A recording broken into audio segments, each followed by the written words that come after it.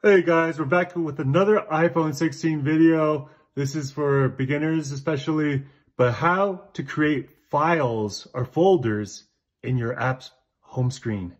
Uh, so what that means is that you can group apps into one folder. And this is an example, sorry. This is an example right here, utilities. So when I open it, there's a bunch of uh, different uh, apps that I can use.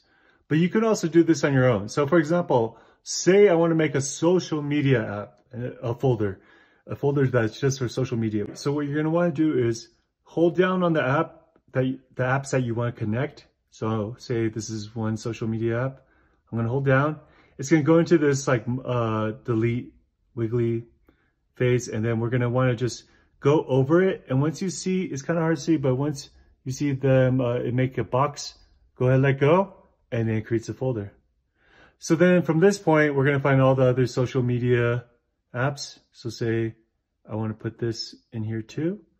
So then uh, just make sure that's inside this little uh, box right here.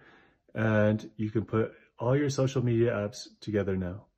And once we're finished, all we have to do is just go ahead and tap the screen again, uh, a part that's not an app. Otherwise, you might accidentally delete.